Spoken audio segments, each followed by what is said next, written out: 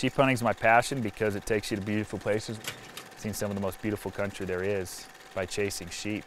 They're awesome animals. They're always up in the nasty stuff. They're hard to find, hard to hunt, and that's why I like it. I like the challenge, I like the work, and keeps us out here in God's country.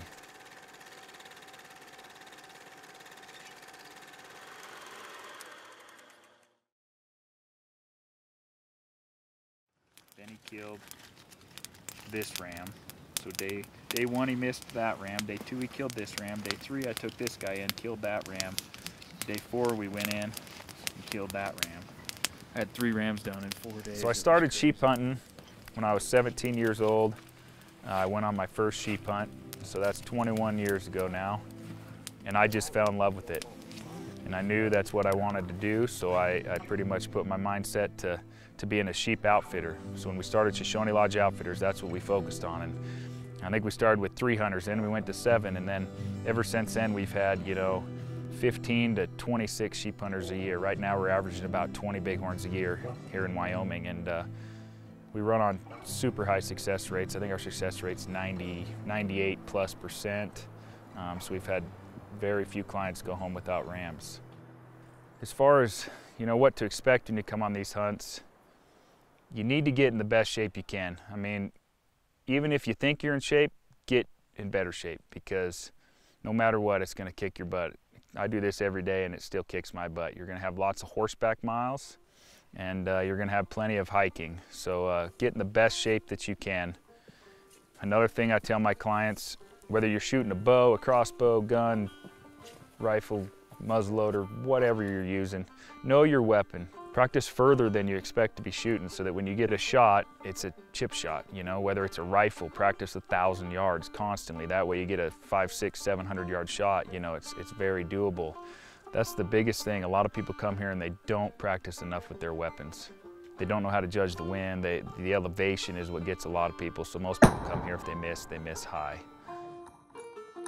That's why the Huskemaw system's so awesome. You can get the turrets built for, for the elevation that you're hunting. And all you gotta do is get there, pop the turret on, zero your rifle at that elevation, and you're good to go. Tells you the wind reads, everything. But still, don't just go buy a Huskemaw, bring it on a sheep hunt. You gotta practice. These mountain hunts ain't for the weak of heart. I mean, you gotta have heart, and you gotta you gotta be able to push yourself. No matter what, you're gonna be wore out. No matter what, you're gonna hurt. You're gonna be sore. So you just gotta be ready for that. Don't give up. If you don't give up, we're gonna get you animals. Um, but you got to come here with the mindset you're gonna you're gonna work yourself harder than you've maybe ever worked yourself on these hunts. So so just come here ready for uh, to get your ass kicked and uh, be miserable, but it'll it'll turn out to be one of the best hunts of your life.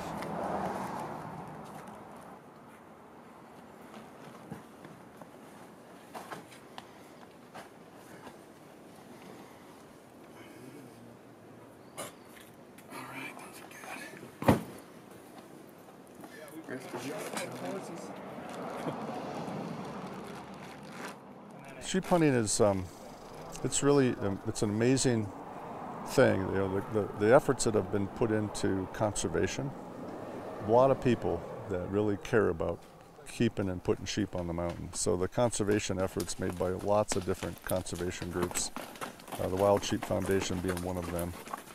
Uh, the guides here, uh, they are so passionate. They just love hunting sheep, and I think I th the reason I think so is it's really one of the most challenging animals to hunt, and it's just it's just a true hunt through and through uh, from all aspects. Just the, the, the horses, the, the, the camping. Um, it's character building in every way. And every time you go through a character building experience, of course, you're always better off.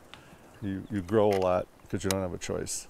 And you learn a lot about yourself and your own physical capabilities and mental capabilities. And I think that's why, you know, people love it. Because what else can you do in life so worthwhile to challenge yourself mentally and physically? Josh was planning for us to go a couple more hours by horseback and mule deeper in. We stopped in this nice park and just did some glass and took a break. And uh, he spotted a band of rams uh, way out there up in this mountain. He basically said, you know, it's worth going after. There's there's there's two in there that are going to be dandies. Couldn't tell for sure, but just big bodies, big heavy horns. So that was our game plan. We have the fire here. I don't know if you want to get back in the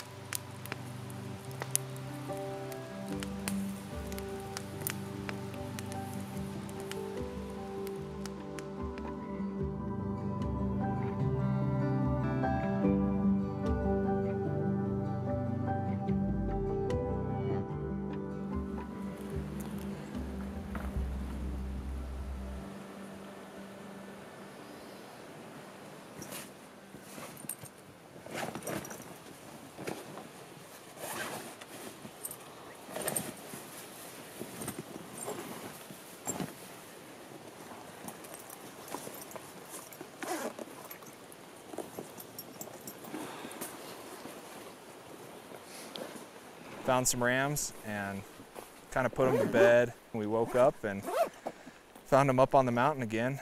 13 rams with four solid ones and two two really really good rams. And uh, me and my brother split, and he went up, and um, I stayed with Joe and took off up the river.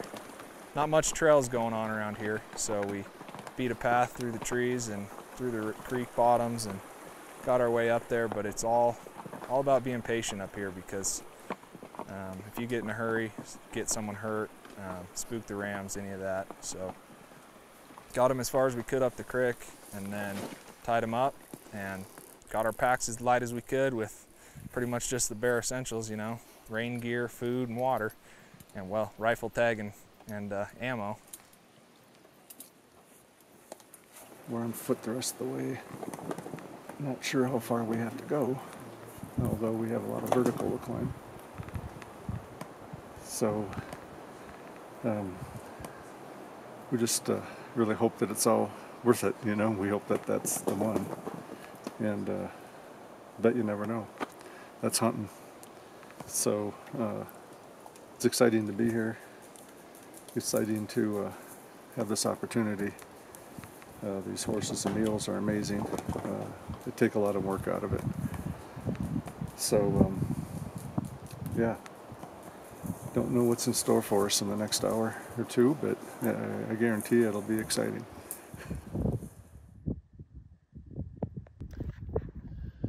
All right, I made it up the mountain. Um, found 24 rams. And uh, finally, this bunch we've been watching has stepped out of the timber, and there's two really awesome rams in there. So, um, Jordan and, and Joe and, and the crew were headed up to, to see if they can get one. So we'll see what happens. So we uh, took off from the horses, started making our way up the creek bottom, just slow and easy. Um, I knew where the rams were from the night before, and uh, so I kind of had a general idea, but the way the land laid, it just made it really difficult. So we just had to really take our time. Um, taking a few steps, glassing, taking a few more steps, glassing, just slowly picking our way up the up the creek. Um, and uh, we get up there, and I knew the way that the Rams were acting the day before. It was really strange. They were getting up and, I mean, just moving all over, like not feeding very much, just moving all over from one drainage to one side to the other, and it made it really tricky. But uh, we got up there and slowly just worked our way up the creek and finally I got eyes on seven of the littler rams and that made it a little easier but I couldn't see the two that we were after. So we had to gain a little more elevation try and get in a window in the trees and it made it tough but Joe did a great job. He uh, came to this hunt prepared.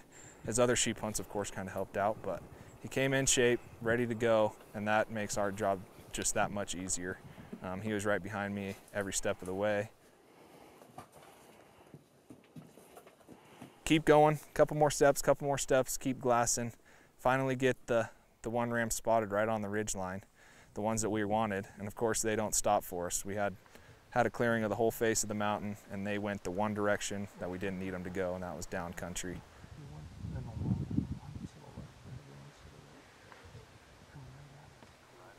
We thought we had a good vantage point. We had a little window. I couldn't see embedded, but we knew they were just behind this little bit of timber. And when they got up, instead of just hanging out and, and feeding, they just took off running. And um, and uh, we were set up at about 550 yards. Everything was perfect. When they reappeared, they were actually coming down towards us. So we repositioned, got to a really good vantage point, and we just kind of got really, really lucky. I think uh, they were coming down through the timber.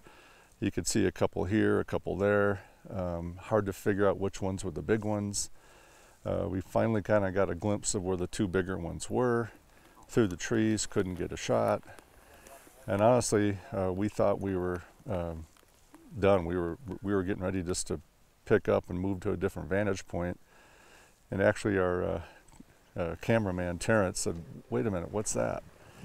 And back in this little tiny hole through the timber was this big one, really heavy, really long, and uh, everything kind of had to come together real quick. I had to put the pack back down, get the gun on the pack, Take him.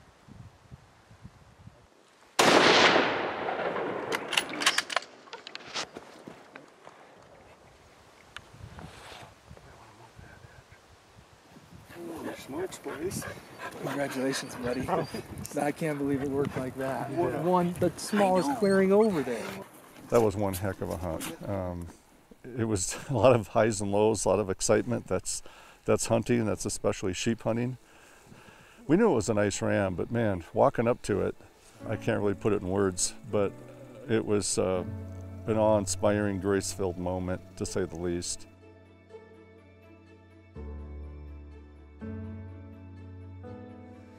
You know, it's just it's something else to see the look on somebody's face when they finish their grand slam and get their hands on on a beautiful Wyoming bighorn.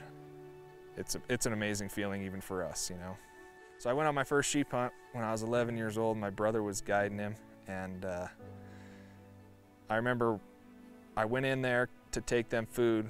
Me and my dad went in and uh, took them a bunch of food because they were running out. It was an archery traditional hunt, and we went in there on the 30th of August and helped him scout on the 31st for opening morning with rifle on the 1st of September. And I remember just going up and staying with my brother right at tree line and sleeping in our mommy bags. And 11 year old kid that's a pretty awesome feeling. And i got to watch them shoot that ram. And i thought it i mean i fell in love that day and started guiding when i was 18 years old. And there's nothing on this earth that i'd rather do than than guide sheep hunters. It's just uh, i mean it and, to be able to work with my brother i mean that was always our dream is to get our own outfitting business we started out guiding for other people and then it just, you know, God's grace, it just worked out. We both got to work together and do our thing, the, the thing that we love, you know. Yeah, sheep hunting is really unbelievable. Um, I never knew I was going to be a sheep hunter. Um, it really just started about four years ago. I went on a hunt with a buddy. We went on a mountain goat hunt up in BC, a few hundred miles north of Prince George. I remember stopping on this high ridge and glassing and looking down below me, and there was a, a, a band of sheep, and, and they were stone sheep, and I'd never seen them before. They were just so fun to watch. I just couldn't stop watching them. But I kind of said to myself, man, I, I need to come back here and hunt these stone sheep. That was just the, the beauty up there, the wilderness, uh, horseback. I ended up uh, booking a stone sheep hunt with that same outfitter for two years later. And that was a crazy hunt, a great hunt, physically taxing, mentally, you got to be mentally strong. It's just not easy, but that's what makes it rewarding. And uh, I was successful on that trip and and kind of caught the bug. I don't know how you say it to any, all you sheep hunters out there. I think once you catch catch the sheep bug, you're doomed for more hunting in a good way. so that was kind of the start of it, and I ended up shooting a nice desert bighorn down in Mexico. That was a heck of an experience, heck of a hunt. And then booked a, a caribou and Dall sheep hunt with, with Knoll Outfitters. Very successful, all of us. We got a couple nice caribou, but I got a really, really nice Dall sheep ram, and that was a tough, tough hunt. That was kind of like this. We went in an area that Josh hadn't been in in a long time, and and uh, he said we're kind of going back to no man's land. Uh, very, very difficult hunting. That what the heck? If there's a you know potential for a good ram, let's do it. I always just said if you can find me a ram, I'll I'll physically get to it somehow, and I did. but uh, yeah, this was a this was a, a, a difficult hunt because we were going up the whole way. That Once we got off the horses, it was just uphill stalking for five hours. By the time we made it happen, I was pretty shot, pretty physically exhausted. Anyway, now sheep hunting is the ultimate hunting. I don't think there's anything uh, that you is more difficult to hunt, more rewarding to hunt than sheep.